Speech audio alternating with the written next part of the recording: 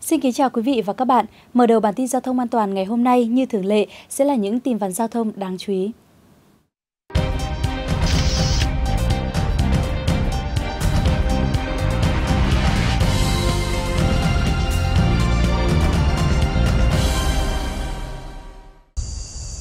Theo Trung tâm điều hành đường cao tốc Nội Bài Lào Cai, trên tuyến này liên tục xảy ra tình trạng trộm cắp thiết bị như tại các nút giao IC18, cầu IC18 thuộc thị đường và nút giao IC17 xã Xuân Giao thuộc huyện Bảo Thắng, tỉnh Lào Cai. Thường xuyên có kẻ gian cắt trộm cắp điện, nắp hộp đèn chiếu sáng, khiến hệ thống chiếu sáng không hoạt động gây mất an toàn giao thông. Nhân viên vận hành đường cao tốc thường xuyên tuần tra kiểm soát tại các địa điểm có nguy cơ bị trộm cắp cao, song gặp nhiều đối tượng manh động, tụ tập thành từng nhóm, ném đá đánh đuổi nhân viên. Đơn vị quản lý tuyến cao tốc đã đề nghị các cấp chính quyền địa phương có tuyến đường cao tốc đi qua xử lý nghiêm hành vi vi phạm và tổ chức tuyên truyền nhằm nâng cao ý thức của người dân trong việc giữ gìn bảo vệ tài sản đường cao tốc.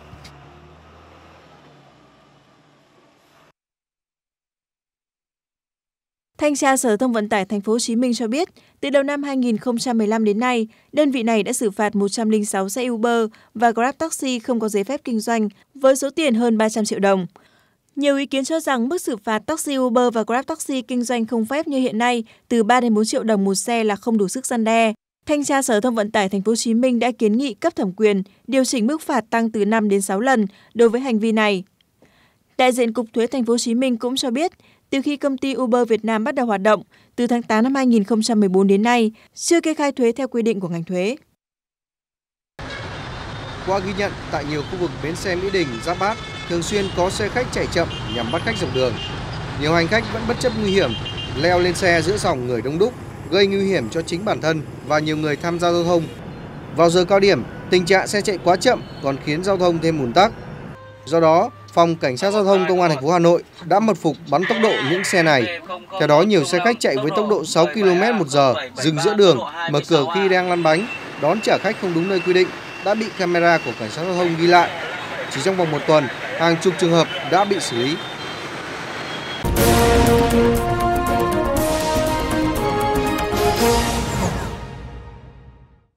Trưa ngày hôm nay, một vụ tai nạn thương tâm đã xảy ra ngay gần khu vực công viên Hoàng Văn Thụ, quận Tân Bình, thành phố Hồ Chí Minh, khiến một người tử vong tại chỗ.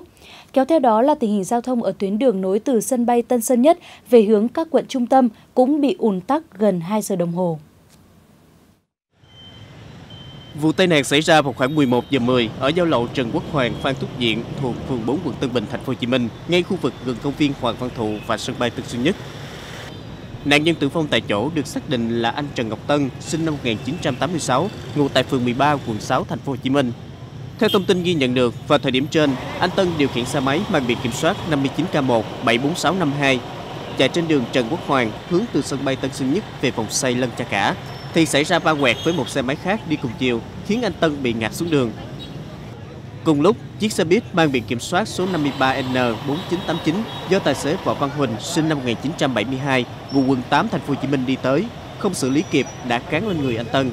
Hiện tài xế của chiếc xe máy va chạm với xe của nạn nhân đã bỏ trốn khỏi hiện trường.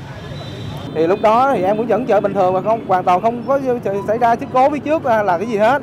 Thì do hai xe Honda nó chạy với tốc độ như thế nào đó nó qua quẹt bất ngờ vô là ngã ngang vào đầu xe buýt thì lúc đó thì em xuống em coi là nghĩ là rớt một hàng. Đó là đây xuống một hàng coi lại thì nó đã xảy ra như vậy rồi.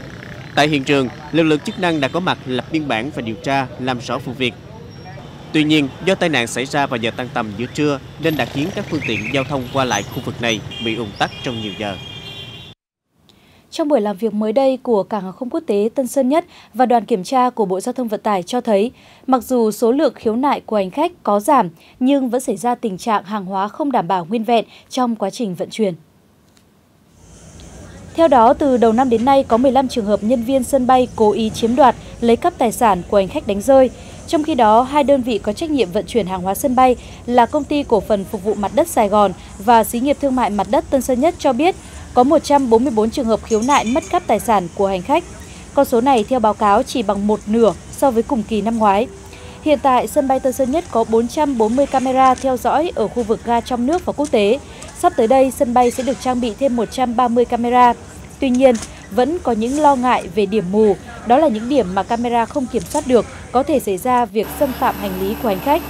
Thời gian qua, chỉ có sân bay quốc tế Tân Sơn Nhất và Nội Bài bị hành khách khiếu nại xảy ra tình trạng rạch phá hành lý.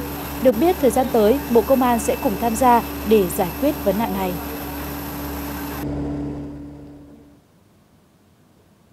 Thưa quý vị, vào khoảng 4 giờ sáng nay, ngày 15 tháng 10, trên quốc lộ 1, đoạn qua xã Vạn Hưng, huyện Vạn Ninh của tỉnh Khánh Hòa, một chiếc xe ô tô khách giường nằm chạy hướng Bắc Nam bị mất lái, đâm vào giải phân cách cứng khiến cả chiếc xe bị lật. Chiếc xe gặp nạn mang biển kiểm soát 79B00426 do tài xế Trần Văn Trung, 40 tuổi, chú tỉnh Hưng Yên điều khiển, chạy tuyến thành phố Hồ Chí Minh Vạn Ninh. Vụ tai nạn khiến cho một hành khách trên xe là ông Trịnh Minh Bằng, 45 tuổi, chú xã Vạn Khánh, huyện Vạn Ninh chết tại chỗ. Hai hành khách khác bị thương gồm bà Trần Liễu, 83 tuổi, ở xã Vạn Ninh, Vạn Thạnh, huyện Vạn Ninh và bà Nguyễn Thị Luông, 53 tuổi, chú xã Vạn Thắng, huyện Vạn Ninh. Vào thời điểm xảy ra tai nạn, may mắn là hành khách đã xuống gần hết, trên xe chỉ còn có khoảng 10 người. Nếu không, thương vong còn có thể lớn hơn. Công an huyện Vạn Ninh cho biết, nguyên nhân ban đầu xác định do tài xế xe khách không làm chủ tốc độ nên đã xảy ra vụ va vụ tai nạn. Dự án mở rộng quốc lộ 1 đoạn qua hai tỉnh Bình Định và Phú Yên có tổng chiều dài khoảng 140 km, trong đó 120 km được đầu tư mở rộng đã vừa chính thức thông xe. Điểm đầu giáp với địa phận tỉnh Quảng Ngãi tại đèo Bình Đê, huyện Hoài Nhơn, tỉnh Bình Định, điểm cuối tại huyện Sông Cầu, tỉnh Phú Yên với tổng kinh phí đầu tư gần 7.800 tỷ đồng. Về quy mô, quốc lộ 1 đoạn qua địa bàn tỉnh được nâng cấp mở rộng với 4 làn xe cơ giới, 2 làn xe thô sơ, giải phân cách giữa và hệ thống an toàn giao thông đồng bộ, vận tốc thiết kế từ 60 đến 80 km một giờ.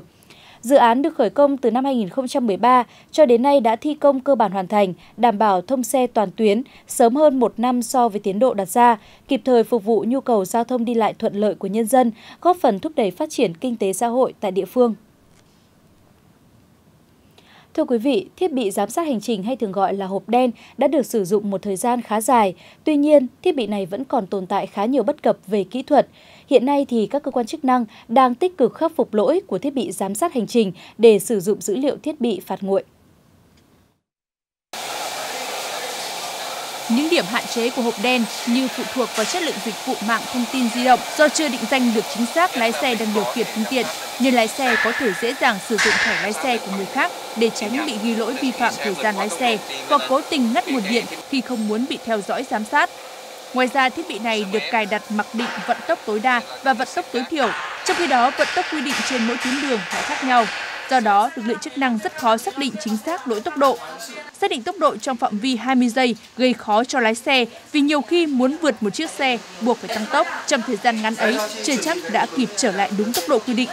Thời gian tới, cơ quan chức năng sẽ có thêm tính năng cập nhật tốc độ trên từng cung đường để giám sát tốc độ, không chỉ giám sát ở khung tốc độ với từng loại xe như hiện nay. Sau khi khắc phục được lỗi, thiết bị sẽ được các trạm đăng kiểm hoặc cơ quan kiểm định kiểm tra định kỳ để đảm bảo dữ liệu luôn chính xác nhằm sử dụng để xử phạt.